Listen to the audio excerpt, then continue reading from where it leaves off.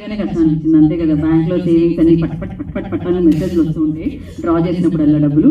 Yeah and అలాగే director గారి గురించి చెప్పండి. ఆయన ఎప్పుడు సీరియస్గా ఉంటారా లేకపోతే నవ్వుతూ ఉంటారా ఇప్పుడు ఉన్నట్టు? ఎందుకండి? చెప్పదగ్గ మాటలు ఏమి లేవంటున్నారా లేకపోతే చెప్తే ప్రాబ్లం అంటున్నారా? అవునా? ఓకే హీరో గురించి ఏమంటారు? లేదు. నాకు అర్థమైంది ఏంటంటే ఎవరి గురించి తను ఏమీ చెప్పకూడదని ఫిక్స్ అయిపోయారు. సో ఫైనల్గా సుమన్ గారి గురించి. సుమన్ గారి గురించి చెప్పాలంటే అసలు మాటలు రావు నాకు.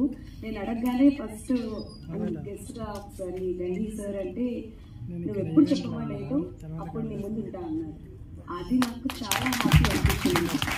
అంటే ఫస్ట్ టైం నేను ఒకరిని అడగలేదు ఎప్పుడు. ఆయన అడగగానే ఇంకా ఏ ఏ టైంకి వస్తావు? ఏ టైంకి కార్ పంపిస్తావు? తొందరగా వెళ్దాం. మళ్ళీ ట్రాఫిక్ జామ్ అయిపోతుందని అతను నాకు ఇంకా హెల్ప్ ఎంత కావాలంటే అంత చేశారు. అండ్ ఈవెన్ ఇక్కడనే కాదు షూట్లో కూడా చాలా హెల్ప్ చేశారు. అండ్ సుహాసిని మేడం కానీ సిహాసి షిండే గారు కానీ పెద్ద ఆర్టిస్టులు ప్యాడింగ్ ఆర్టిస్టులు ఎవ్రీ వన్ దాని సపోర్టింగ్ అంటే చాలా సపోర్ట్ చేశారు. నేను ఒక ప్రొడ్యూసర్ అనే కాదు చాలా చాలా అంటే దగ్గరగా ఒక డాక్టర్ లాగా నన్ను ట్రీట్ చేసి చేశారు. అంటే వీళ్ళందరూ అంటే ఏదో ఫ్రెండ్లీగా ఉండేవారు. బట్ ఒక పెద్ద ఆర్టిస్టులతో చేసామంటే మాకు చాలా హ్యాపీ కదా. సో వాళ్ళు మాకు ఒక మదర్ ఫాదర్ లాగా ఉండి నాకు సపోర్ట్ చాలా బాగా ఇచ్చారు. సో రియల్గా కూడా ఆ ఫీల్ వచ్చింది అనమాట మదర్ ఫాదర్ ఆ ఫీల్ అండ్ అక్కడ ఆరు పాటలు ఇచ్చిన మ్యూజిక్ డైరెక్టర్ గురించి ఏమన్నా చెప్దాం అనుకుంటున్నారా? ఆయన మ్యూజిక్ డైరెక్టర్ని డైరెక్టర్గా చూడలేదండి నేను. ఒక బాబాయ్గా అండ్ మంచి సాంగ్స్ ఇవ్వడానికి ఫస్ట్ కారణం అయితే హీరో గారండి. నాకు అసలు సాంగ్స్ అవి అంటే నేను ఒక ప్రైవేట్ ఆల్బమ్ సాంగ్ కొని వెళ్ళాము షూట్కి. అక్కడ పరిచయం తను నాకు.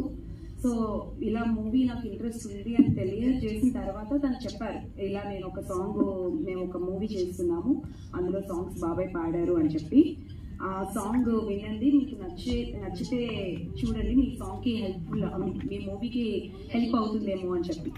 దెన్ మేము అక్కడ రైట్ సో ఫైనల్గా అక్టోబర్ ట్వంటీ సెవెంత్ వస్తుంది నిన్నే చూస్తూ ఆడియన్స్ అలా చూస్తున్నారు మిమ్మల్ని ఇప్పుడు కెమెరా నుంచి వాళ్ళకి ఏం చెప్తారు? వాళ్ళకి ఏం చెప్పాలండి? అంటే ఇది కుటుంబ కుటుంబం కుటుంబం అందరూ చూడవలసిన cinema love and family picture. So అందరూ థియేటర్కి వెళ్ళి చూసి మమ్మల్ని అందరినీ మా టీం అందరినీ ఆదరించి సక్సెస్ చేయాలని కోరుకుంటున్నాను అంతే. ఇంతే స్పీచ్ అంతే ముందు ఏముండదు thank you so much thank you so much నన్ను మాట్లాడిపించేస్తారు ఎలా అయితే అదే కదా.